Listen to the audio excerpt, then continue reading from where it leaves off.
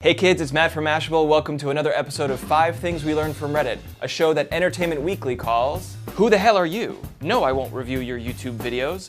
Get out of my office. Oh god, Jane, call security. We all know that history is written by the winners, but in 1999, a Russian writer set the record straight with an alternative account of one of the greatest wars of all time. I'm speaking, of course, about the war for Middle Earth. In this version, told from Sauron's perspective, Mordor is a peaceful nation that has embraced science and technology, but it comes under attack from the imperialist forces of Gandalf. If you like revisionist history and you think hobbit feet are disgusting, then this book is for you. But you don't have to take my word for it. Today I learned that if the global population of 6.9 billion people lived as densely as they do in New York City, you could fit everyone in a space the size of Texas. Which is great because Texas loves immigrants. These maps from the blog Per Square Mile show just how sparsely humanity occupies the Earth. Here's how much room we would need if everyone lived like Paris. And here's San Francisco. And if everyone lived like Houston, well, we're kind of be The lesson here is that there's plenty of room left on Earth for humanity, so keep it up, Duggar family.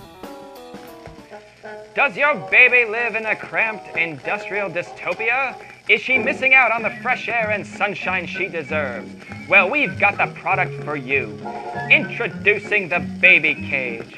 This real product, which is really a thing because it's 1930, turns your apartment window into a picnic in the park for your little bundle of joy, whom you would never put in harm's way. Purchase the Baby Cage, wherever DDT and asbestos are sold. Did you know that sand tiger shark fetuses will eat the fertilized eggs of their brothers and sisters in the womb?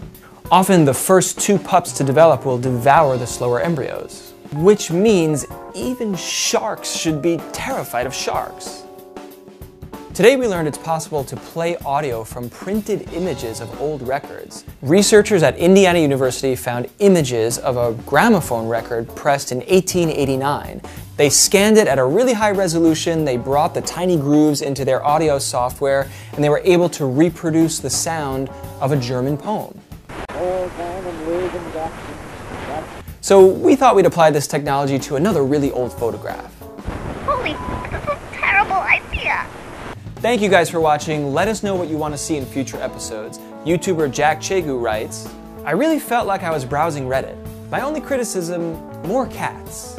More cat. Well, Jack, this is for you.